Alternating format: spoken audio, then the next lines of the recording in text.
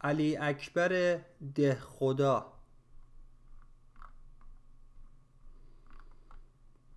علی اکبر ده خدا در سال 1255 در شهر تهران به دنیا آمد. ده خدا زبان عربی و علوم دینی را نزد شیخ غلام حسین فرا گرفت.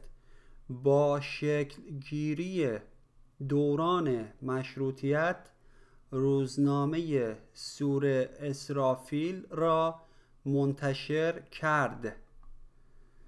دهخدا پس از مرگ مظفرالدین شاه و به قدرت رسیدن محمد علی شاه نسبت به مشروط خواهی ندای مخالفت سرداد و به پاریس تبعید شد. علی اکبر دهخدا از بزرگترین استادان ادبیات و زبان فارسی معاصر در ایران است و خدمتهای بیشماری درباره زبان فارسی انجام داده است.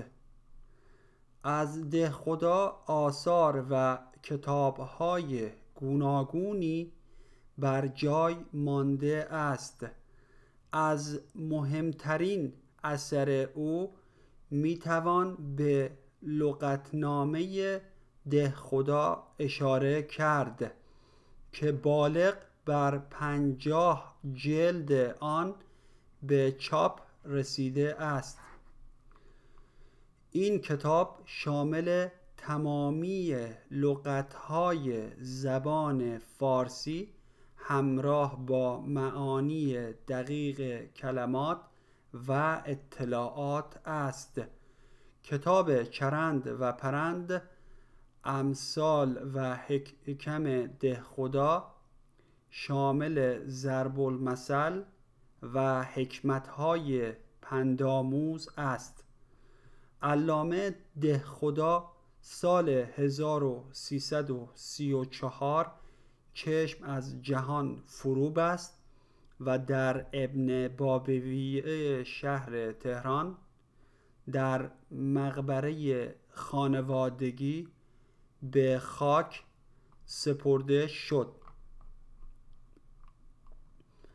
کلمات کلیدی مترادف فارسی مترادف انگلیسی فرا گرفتن خواندن انتشار چاپ کردن ذوق اشتیاق قالب شکل مخالفت تضاد تبعید زندانی.